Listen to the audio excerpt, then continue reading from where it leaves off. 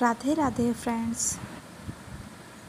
ये देखिए पत्थर चट्टे का पौधा और इस भीषण गर्मी में देखिए इसकी हालत। और इसको मैंने देखिए एक छोटे से बोतल को काट, डब्बे को काट के सॉरी और मैंने डीआईवाई करके उसमें लगाया है। और ये देखिए, ये बहुत ही अच्छा इसमें चल रहा था, लेकिन इस गर्मी में देखिए इसकी क्या हालत हो गई है। पूरे पत्ते देखिए कैसे बर्न हो गए हैं।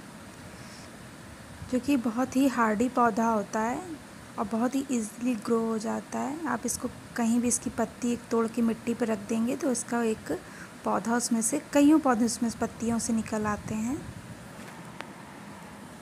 लेकिन इस गर्मी में देखिए इसकी क्या हालत हो गई है।